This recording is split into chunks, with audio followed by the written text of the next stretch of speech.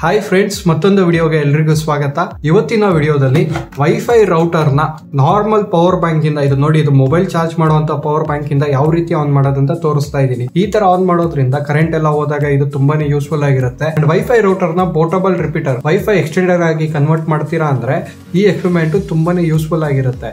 And WiFi ರೌಟರ್ಗೆ ಸಿಗುವಂತ power bank ಇಂದ ಬ್ಯಾಟರಿ ಬ್ಯಾಕಪ್ ಬಂದು ಐದರಿಂದ ಆರ್ ಅವರ್ ಇರುತ್ತೆ. ಅದೇ ನಾವು ಮಾಡ್ತಾ ಇರೋದು ನೋಡಿ, ಇದು thirty thousand M power bank ಈ ಪವರ್ ಬ್ಯಾಂಕ್ ಇಂದ ರೌಟರ್ನ ಆನ್ ಮಾಡಿದ್ರೆ ಮಿನಿಮಮ್ ಐವತ್ತು ಅವರ್ ಬ್ಯಾಟ್ರಿ ಬ್ಯಾಕಪ್ ಬರುತ್ತೆ. ಈ ಎಕ್ಸ್ಪೆರಿಮೆಂಟ್ಗೆ ನಮಗೆ ಆಲ್ರೆಡಿ ನಮ್ಮ ಹತ್ರ ಪವರ್ ಬ್ಯಾಂಕ್ ಇರೋದ್ರಿಂದ ಒಂದು ನೂರರಿಂದ ನೂರೈವತ್ತು ರೂಪಾಯಿ ಖರ್ಚಾಗುತ್ತೆ ಅಷ್ಟೇ. ಸೊ ಯಾವ ರೀತಿ ನಾರ್ಮಲ್ ಪವರ್ ಬ್ಯಾಂಕ್ ಇಂದ ವೈಫೈ ರೌಟರ್ನ ಆನ್ ಮಾಡೋದಂತ ತೋರಿಸ್ತಾ ಇದ್ದೀನಿ. ಬನ್ನಿ ನೋಡೋಣ. ವೈಫೈ ರೌಟರ್ ಆನ್ ಆಗಬೇಕು ಅಂದ್ರೆ ಬೇಕಾಗಿರೋ ವೋಲ್ಟೇಜ್ ಬಂದು twelve volt and power bank ನೋಡಬಹುದು ಈಗ ಬರ್ತಾ ಇರೋ ಎಲ್ಲಾ ಪವರ್ ಬ್ಯಾಂಕ್ ಅಲ್ಲೂ ಟ್ವೆಲ್ ವೋಲ್ಟ್ ಸಪೋರ್ಟ್ ಆಗುತ್ತೆ. ನೋಡಿ, ಇಲ್ಲಿ ಕೊಟ್ಟಿದ್ದಾರೆ ಪವರ್ ಬ್ಯಾಂಕ್ ಅಲ್ಲಿ. ಫಾಸ್ಟ್ ಚಾರ್ಜಿಂಗ್ ಎಲ್ಲ ವರ್ಕ್ ಆಗಕ್ಕೆ ಟ್ವೆಲ್ ವೋಲ್ಟ್ ನೈನ್ ವೋಲ್ಟ್ ಈ ತರ ವೋಲ್ಟೇಜಸ್ ಇರುತ್ತೆ. ನಾರ್ಮಲ್ ಆಗಿ ಪವರ್ ಬ್ಯಾಂಕ್ ಇಂದ ಔಟ್ಪುಟ್ ಬರೋ ವೋಲ್ಟೇಜ್ ಬಂದು ಫೈವ್ ವೋಲ್ಟ್ ಸೊ ಇದನ್ನ ಏನ್ ಮಾಡಬೇಕು ಅಂದ್ರೆ ಪವರ್ ಬ್ಯಾಂಕ್ ಅಲ್ಲಿ ನಾವು ಟ್ರಿಗರ್ ಮಾಡಬೇಕಾಗತ್ತೆ, ಕೇಳಬೇಕಾಗತ್ತೆ. So device twelve volt support ಆಗುತ್ತೆ. ಟ್ವೆಲ್ ವೋಲ್ಟ್ ಸಪ್ಲೈ ಕೊಡು ಅಂತ ಕೇಳಬೇಕಾಗತ್ತೆ. ಸೊ ಹಂಗಾಗಿ ಟ್ರಿಗರ್ ಮಾಡೋಕ್ಕೋಸ್ಕರ ನಾನೊಂದು ಟ್ರಿಗರ್ ಡಿವೈಸ್ನ ನ ತರಿಸಿದೀನಿ ನೋಡಿ.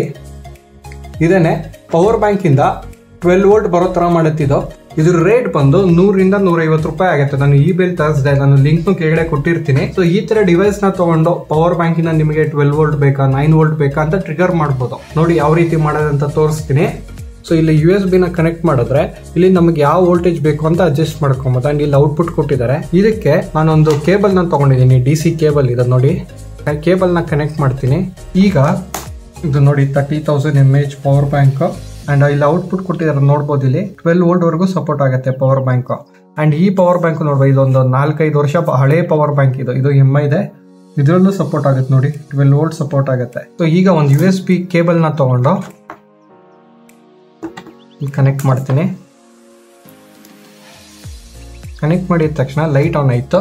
ಆ್ಯಂಡ್ ಒಂದು ಮಲ್ಟಿಮೀಟರ್ನ ತೊಗೊತಾ ಇದ್ದೀನಿ. ಎಷ್ಟು ವೋಲ್ಟೇಜ್ ಬರುತ್ತೆ ಅಂತ ನಿಮಗೆ ತೋರ್ಸೋಕ್ಕೆ. ನೋಡಿ ಮಲ್ಟಿಮೀಟರಲ್ಲಿ ವೋಲ್ಟೇಜ್ ಸೆಟ್ ಮಾಡ್ತಾ ಇದ್ದೀನಿ. ಇಲ್ಲಿ ಫೈವ್ ವೋಲ್ಟ್ ಔಟ್ಪುಟ್ ಬರ್ತಾ ಇದೆ. ಅದೇ ನೋಡಿ, ಇಲ್ಲಿ ನಾವು ಟ್ರಿಗರ್ ಮಾಡ್ಬೋದು. ಟ್ರಿಗರ್ ಮಾಡೋದಕ್ಕೆ ಇಲ್ಲಿ ಮೇಲ್ಗಡೆ ಸ್ವಿಚ್ನ ಟ್ರಿಗರ್ ಮಾಡಿದ್ರೆ ಟ್ವೆಲ್ ವೋಲ್ಟ್ ಬರ್ತಾ ಇದೆ ಔಟ್ಪುಟ್ಟು ನೋಡೋದ್ರಲ್ಲ? ಅದೇ ಮೂರನ್ನು ಎನೇಬಲ್ ಮಾಡಿದ್ರೆ ನೋಡಿ ನೈನ್ ವೋಲ್ಟ್ ಬರುತ್ತೆ. ಸೊ ನಮಗೆ ಯಾವ ವೋಲ್ಟ್ ಬೇಕೋ ಆ ವೋಲ್ಟ್ನ ನಾವು ಸೆಟ್ ಮಾಡ್ಬೋದು. ಇಲ್ಲಿ ಚಾಟಲ್ಲೂ ತೋರಿಸ್ತಾ ಇದ್ದೀನಿ. ನೋಡಿ ಟ್ವೆಲ್ ವೋಲ್ಟ್ ಬರ್ತಾ ಇದೆ. ಸೊ ಈಗ ಯು ಎಸ್ ಬಿ ಕೇಬಲ್ನ ರೌಟರ್ ಕನೆಕ್ಟ್ ಮಾಡ್ತಾ ಇದ್ದೀನಿ. ಇಲ್ಲಿ ನೋಡಿ, ಇಲ್ಲಿ ಇನ್ಪುಟ್ ಇದೆ. ಇನ್ಪುಟ್ ಕನೆಕ್ಟ್ ಮಾಡ್ತಾ ಇದ್ದೀನಿ. ಕನೆಕ್ಟ್ ಮಾಡಿ. ನೋಡ್ಬೋದು. ರೌಟರ್ ಆನ್ ಆಗ್ತಾ ಇದೆ. ನೋಡಿ ರೌಟರ್ ಈಗ ಕಂಪ್ಲೀಟ್ ಆಗಿ ಆನ್ ಆಗಿದೆ. ಅಂಡ್ ವೈಫೈ ನೆಟ್ವರ್ಕ್ ಬರ್ತಾ ಇದೆ ಅಂತ ತೋರಿಸ್ತೀನಿ. ನೋಡಿ ಕನೆಕ್ಟ್ ಆಗಿದೆ. ಅಂಡ್ ಇದರಿಂದ ವೈಫೈ ರೌಟರ್ ಒಂದೇ ಅಲ್ಲ ಪವರ್ ಬ್ಯಾಂಕ್ ಇಂದ ಟ್ವೆಲ್ ವೋಲ್ಟ್ ಬರುತ್ತಲ್ಲ, ನೀವು ಇನ್ನ set top box set top ಬಾಕ್ಸ್ಗೂ twelve volt ಬೇಕು ನೋಡಿ. So, ಇದನ್ನ ತೆಗೆದ್ಬಿಟ್ಟು